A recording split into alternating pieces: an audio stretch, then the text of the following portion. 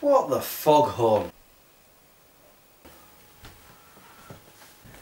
Clone Mom, why you stood outside in the tiger poop? Because it's good luck. Who told you that? Fwed, Fwed and Fwed. Ah, they lied, didn't they? Yes. And don't walk in the house with all that on your feet and put your shoes back on. What a doofus.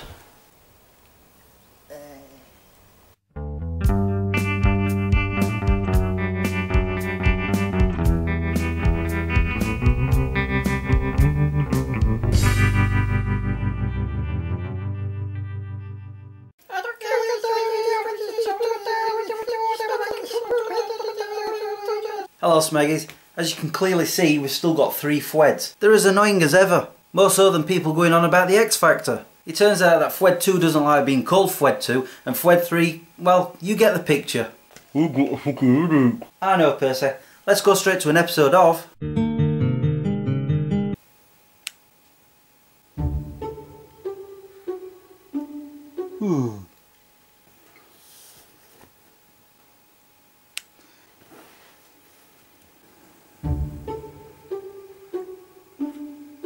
Ooh.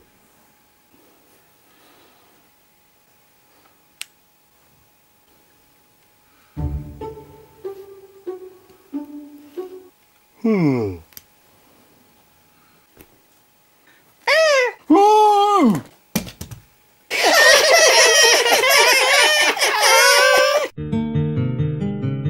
And there's another reason why they've been so annoying. They've been doing that all week, tormenting us.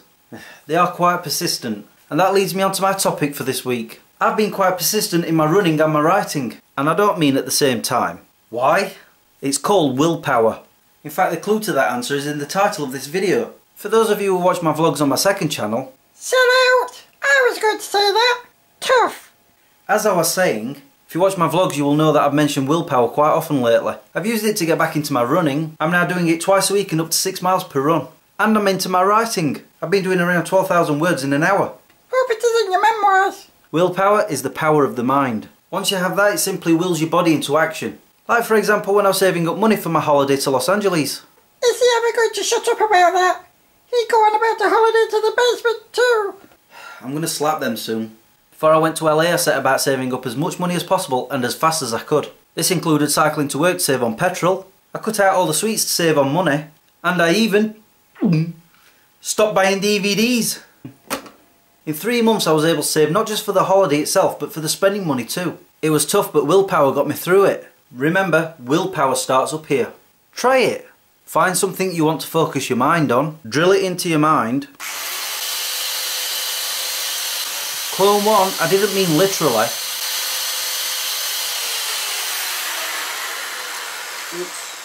Say for example you want to run, tell yourself you will do it, choose a route, ignore all the second guessing like it's too cold or you're too tired and just go. The more you do it, the easier it gets. With writing, I set aside an hour for myself and I just write. I never really think about any of these activities, I just do it. And I always feel proud of myself afterwards. And that keeps fueling your willpower. I'm going to have to use it to stop myself from eating too much. But that's my next target. In a nutshell, make goals for yourself, then focus on them. The more you do it, the more ingrained in your mind it is, and the easier it gets. So if I was to say I want to beat the crap out of Fred 2 and Fred 3, I'm going to pull your hair out. What hair? The one in your butthole.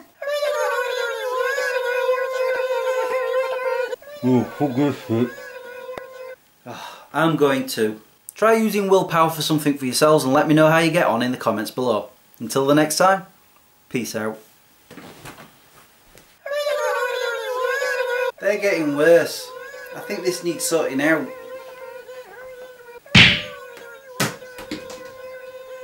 If you watch my vlogs, I'm doing it twice a week and um, ah.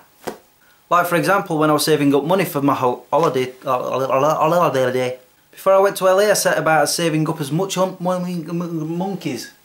In three months, I was able to save not just for the holiday itself, but but but for the spending money too.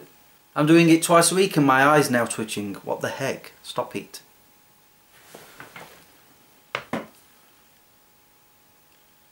Oh, right there. Stop. Stop twitching.